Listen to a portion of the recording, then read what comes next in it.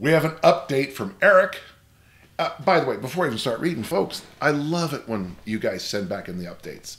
It really helps with clarity. Th- this feedback loop is what makes coaching. Um, I will. I have a lot of experience. I've been around a while. I know good people. I've been coached by some of the best and brightest in the history of my sports. Uh, you know, and yet sometimes I need when you ask a question, I need to make sure we start to have a conversation, a dialogue, a feedback loop. So Eric, thank you so much, just straight up for for sending this in. Dan said, "Get back to me after you've done it a few times." That is adding light Olympic lifting. So just for his own data. Yes, my data. I'm going to put it into my supercomputers that I have right behind me. Uh, uh, boy, we'll be we'll be tapping this information out all weekend. Uh, I added some light Olympic lifting to my training as recovery allowed, starting at 50 to 60 percent. I like that, and did four by two, four doubles in the snatch, four singles in the clean and jerk. Uh, I learned that trick from Dave Turner. Uh, clean and jerks, just singles adding weight by feel on subsequent sets using Dan's no small plates strategy. I'm not sure about that, but that's okay.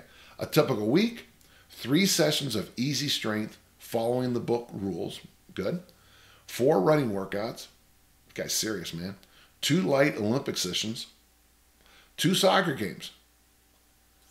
That's a lot of rabbits, my friend. But let's see how he did. Ending up, ended up hitting a personal record double front squat, and a personal record 5K run while keeping everything else nice and crisp. So, as usual, humbly, Dan was right.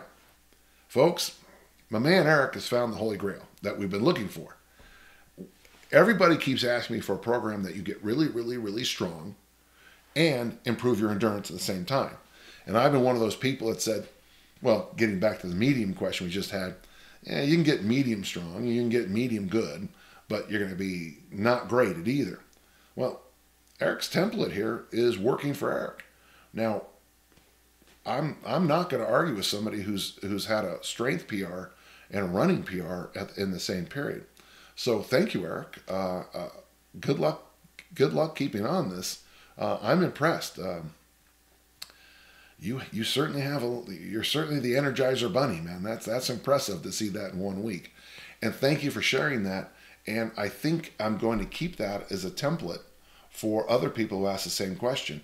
Uh, strange as it seems, I this might be something I'll raise with uh, some of my military friends um, who are constantly looking for a way to keep multiple qualities at a fairly high uh, level, which of course is the hardest thing to do.